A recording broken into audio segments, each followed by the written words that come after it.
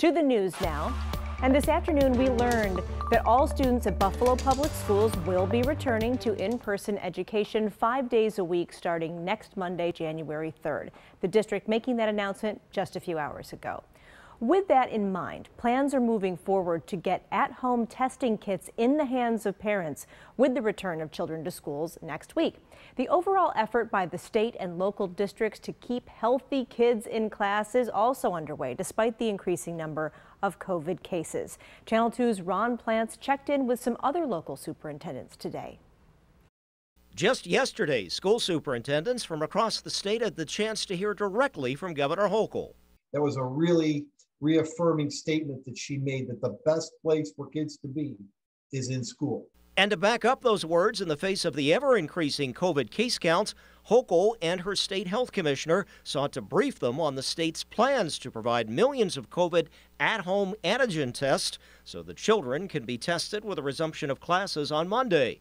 The understanding there may have been exposure at family gatherings or other events during their holiday break, and the realization that most kids, especially ages 5 to 11, still have not been vaccinated. Trying to put in the hands of families uh, of school age children one test uh, for every school age child that they can choose to use in advance of returning to school on Monday, um, you know, just as an other layer of mitigation to add to the other layered mitigation strategies we've been using in schools, like um, masking and checking of symptoms and hand washing and um, you know, physical distancing and the like. Obviously, there's the logistics issues of getting all those tests distributed through the state's BOCES centers to the school districts and ultimately parents and kids by either the end of this week or early next week as district leaders work out how to notify parents on details.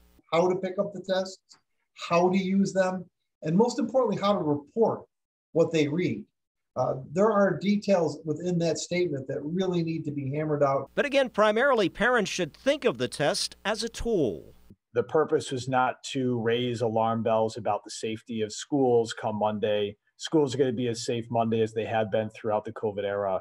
It's just another layer of mitigation that the governor is offering to schools and families and we'll do our best to get them distributed in advance of Monday. But the reality of it is, we don't even know if we're going to get them in time. Ron Plants, Channel 2 News.